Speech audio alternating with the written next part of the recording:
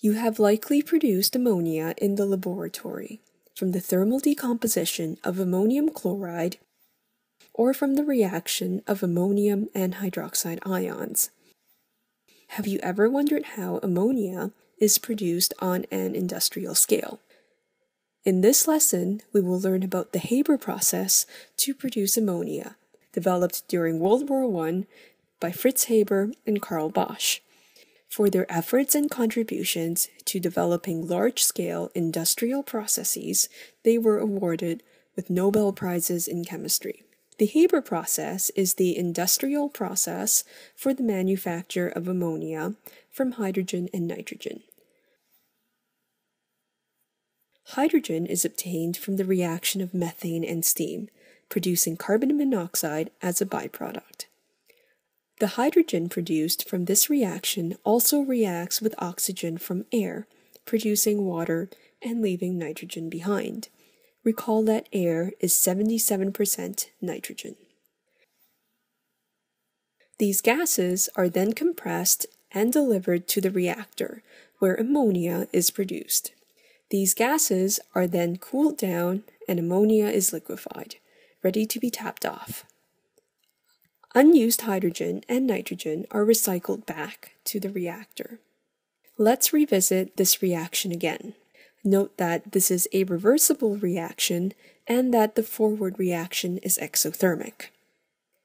The Haber process uses Le Chatelier's principle to maximize ammonia production while keeping operating and production costs in mind.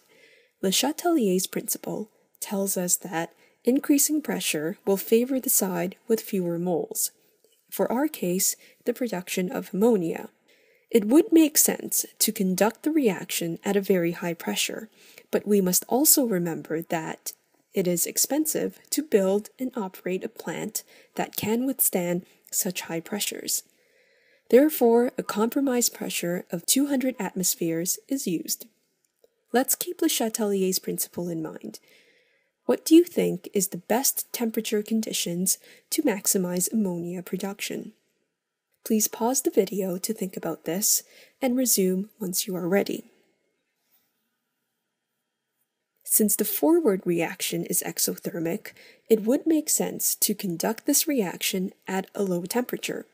The compromise temperature is 400 to 450 degrees Celsius, which is not exactly low, but not too high. If a low temperature were used, the rate of reaction would be very slow, though the exothermic reaction would be favored.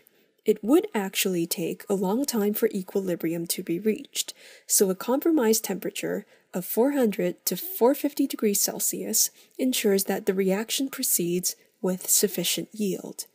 The yield of this process is 10 to 20 percent, Remember from the introduction that unused gases are recycled, so no reactants are wasted. As well, an iron catalyst is used in this process.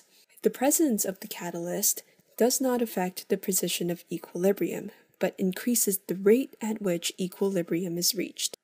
In conclusion, the Haber process is the industrial process to produce ammonia from hydrogen and nitrogen.